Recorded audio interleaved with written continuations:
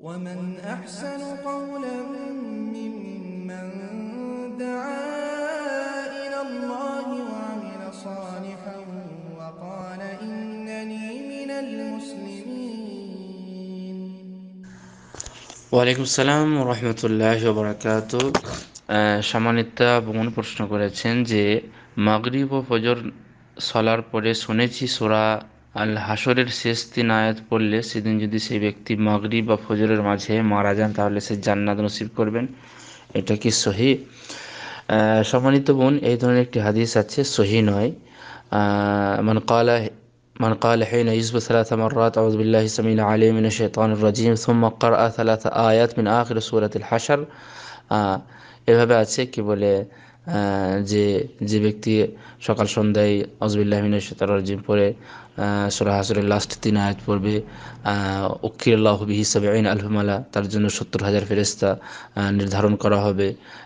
তারপরে সন্ধ্যা পর্যন্ত, যদি সকালে পড়ে, সন্ধ্যা পর্যন্ত তার উপরে মানে কি বলে, তার জন্য দোয়া করতে থাকবে। ওইমাত ফিজা আলী কেলিয়া মাতা শাহিদা তারপরে সেই দিনে যদি মারা যায়, তাহলে সে শহীদ হবে। তারপর আবার সন্ধ্যা থেকে নিয়ে সন্ধ্যা যদি পড়ে রাত পর্যন্ত আপনার হাজার ফেরেস্তা তার জন্য মোয়াক্কাল করা হবে, নির্ধারণ করা হবে এবং সে সে রাতে যদি মারা যায় মারা যায় শহীদি মরণ মরণ হবে।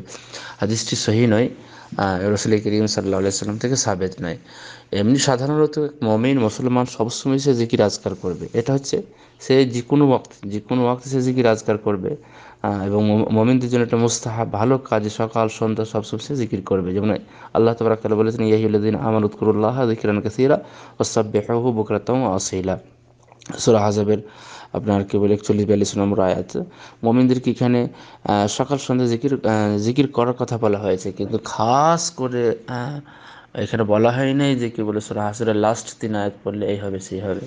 এবং যেটা প্রমাণিত বা যেটা আপনার আছে ওটা আপনার সনদ সূত্রে দুর্বল।